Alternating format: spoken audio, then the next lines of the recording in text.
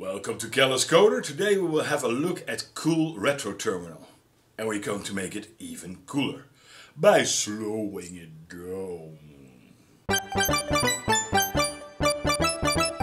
Motherfucker! So this is actually a little in-between video because I am waiting on components. They were supposed to come in on Wednesday. They finally got in on Friday evening. And those components are for a little uh, piece of kit that I'm building that hypothetically, it could be a fill video, but hypothetically would prevent Google, Siri, CIA, FBI, my gangster friends, to uh, eavesdrop on me with microphones. So stay tuned, you will see that one in the, video, in the future. Yeah, so in between I was watching this YouTuber called FreeDOS, who also supports the FreeDOS application. And he made a video on how we used to use Unix in the 70s, 80s and 90s and he installed this awesome uh, terminal emulator called Cool Retro Term. And I was like, that is awesome. But then somebody replied, yeah, but it's it instantly froze the data on the screen. It should actually scroll it. So he was like, yeah, that will be a nice feature. And he looked into it and that feature is open since 2014. So nine years. So I picked up the content. I figured I can do that in an hour. Well, honestly, it took me about three hours. Then I had to go to bed.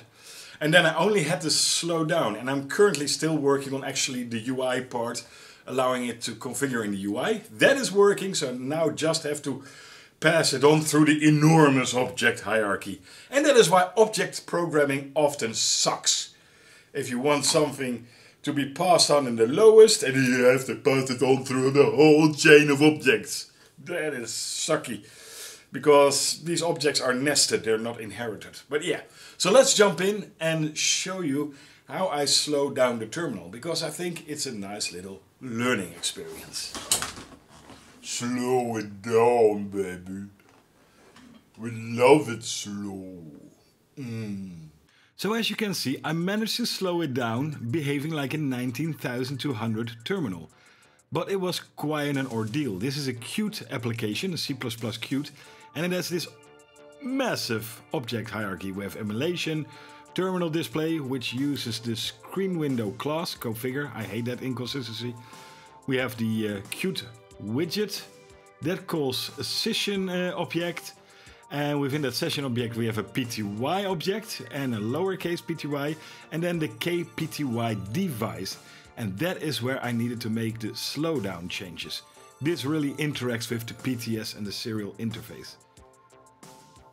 So how did I go about reverse engineering this code? Where should we start?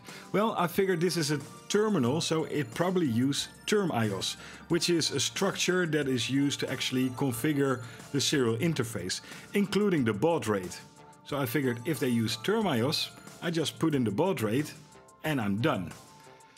So if we go to the dev, you will actually see we have these TTY interfaces. These are your serial interfaces on Unix. And then you have PTS, post-traumatic stress syndrome, which I usually get from Windows and not from Linux or Unix. And these are virtual terminals. And I made the assumption that PTS probably uses the exact same hardware stack, although virtualized. So I could probably set Termios just like I do on TTYS. So I was looking where it is actually being set. So here I see Ah, a set structure call. So they made their own wrapper TC set attributes. Okay. And let's go through them. And I see a lot in below there of setting these structures. So let's go and see what happens. Well, this is the flow control. No, I want it to set always and not just in flow control. What else do we have? No, that doesn't look... Erase? No, that doesn't look like it. ah! Start. Now this would be the ideal place because when we start, we set up the speed. So I added these two lines. I set CI speed and CO speed to a 9600 bauds and then here it is set in the PTY object by the TC set structure. So I figured this is it. Done, easy peasy. How easy can it be? And it didn't work. It still makes no sense to me that you're not allowed to set up a baud rate of a virtual terminal, but you are allowed to set up flow control. Inconsistency. I don't like that. So my next strategy was to think in the Qt way and find signals that are connected. Assuming that if, for example, a buffer is full, it would need to send a signal to read that buffer. And here I found the connects, read notifier and write notifier, and they called it K can read and K can write methods. So I figured let's look those up. This is the original code that I encountered. Read from the master file descriptor, that is the file descriptor to the PTS, read the contents of that file descriptor buffer into PTR with the number of available bytes, so in one go. So what I figured to test this is actually change available to 1 and just call a Q thread sleep on there of 1 millisecond because 1 millisecond is about 9600 bauds. So I added this code and I also changed it available to 1 because we only need to send one byte at a time and then wait. And that actually worked. So this is the location where we now need to patch it.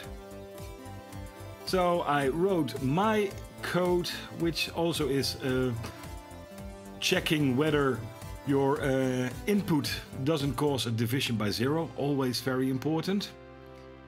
And we have a, a static define baud rate on top. So you can set that to any baud rate below 56,000, including 56,000, then it would behave like a one character terminal, which will wait every character that we send. And above 56,000, it will behave again like uh, the original code, sending the whole available byte stream in one go to the terminal. Now, it's always very important that when you use a division, that you actually check that you're not dividing by zero because somebody could put in the baud rate zero just to be malignant and it will break. So I check here if the bytes per second is not uh, a zero and that it is greater or equal than 56,000 then we will send one byte at a time with the sleep in there.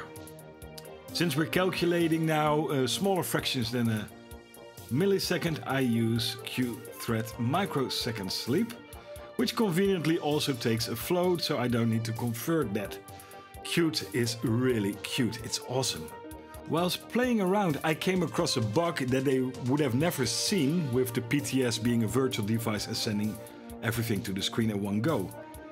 Here I actually list the contents and press Ctrl C and it doesn't stop. A real terminal has an interrupt on Ctrl C and will actually uh, clear its receive buffer. And here I press Ctrl C and it didn't do anything. It waited until the whole ring buffer was actually flushed to screen. There we go. Yes. So you see my several Ctrl C's there. Uh, I need to patch this. I can't work with this. So I figured I can use the kcan write because this slowdown was in the read, so the write must handle the writing part. See if I can put something in here. No, not really. That will be very, very dirty. So let's create our own function called is Ctrl C pressed. We're making basically our own software interpretation of a real terminal's Ctrl C interrupt. So when Ctrl C is pressed, we need to check for character 3. And this looks a bit convoluted because the buffers is a list of QArray bytes. I don't know why they did that. That's why I used the for and the auto. And basically the count will increment and we will look at the position in the current Q byte array, that is C, if character 3 is set. Character 3 is the control C key combination. So if that is set, we will set the result to true and we break out of this loop and otherwise we will continue looping and we will return false if it isn't in there. This may seem like inefficient, but on these fast computers it's okay and your uh, keyboard buffer isn't that big because you don't really type that fast anyway. So this will perfectly work fine for our use case. So now let's have a test. Right, list, Control C, and it stops immediately. This is the behavior that you want. Cool, fixed. All that's left is the UI. So I currently have added the set baud rate underneath the blinking cursor. So if we go to the new version, there, let's start that. You can see we already have that UI field. We can enable it. We can change this. This I will patch further. So say 9600 bauds. As soon as you click away it will save automatically. That is uh, the magic of Q settings. So if we go back here you will actually see it saved it. That's settings. So the UI part I also already have done. I just need to pass it all the way on through the object hierarchy with all these nested objects and that I'm still doing. So what I did to implement the UI is I was looking for a blinking cursor because I wanted my uh, thing underneath there and the behavior to be the same and the use custom command. Custom command is a uh, text field that allows you to enter a command. So basically I borrowed from the use blinking, the checkbox and the custom command here. So I knew what to fill in to the QML. Usually you will draw these UIs with a uh, Qt Creator app. Uh, since this is already there, I figured just add it by hand to every location. This is the saving part of the uh, configuration because we need to save it as well and retrieve it. So I set some uh, in the default profiles just, uh, just to experiment to see if it actually reads them. That all looks good.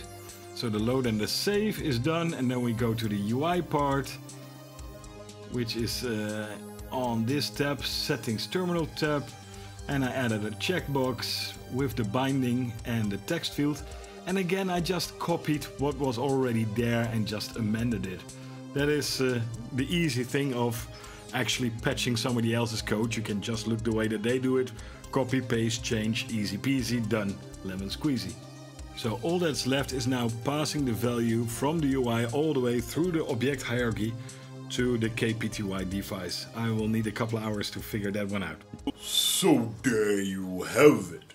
We like it slow, like we did in the old days. Yeah.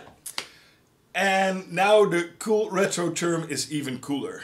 Especially when I finalize the configuration via the UI, which we're pretty much there. So a uh, couple of hours I need to find to uh, round it off. But yeah, it is an awesome terminal emulator. So uh, I will put a link into the description of the two files that have changed. You just override them for now and uh, that will work. Then you have a nice slow one and you can change that define baud rate to whatever baud rate you want to see how slow you want to go. And it compiles pretty fast. First time takes a bit, but after that it's like bam. It's Qt fucking rules. I love Qt. I actually used Qt from the movie Dunkirk to write a plugin for the compositor that Digital Domain uses, which is called Nuke. Now Nuke is the de facto standard compositor, and a compositor is basically a program that takes the different elements, CG elements, real elements, etc. and stacks them on top. And for this one we needed to track the motion of the ocean so that we could have the 2D uh, life jackets and debris sort of follow along because initially they didn't do that. And on a 70 millimeter film print you can't get away with anything. Everything that is out of the ordinary sticks out so yeah. I hope you learned something. Install cool retro term make it even cooler and just use it and relive the awesome 80s and 90s what an era that was. And I see you in the next one.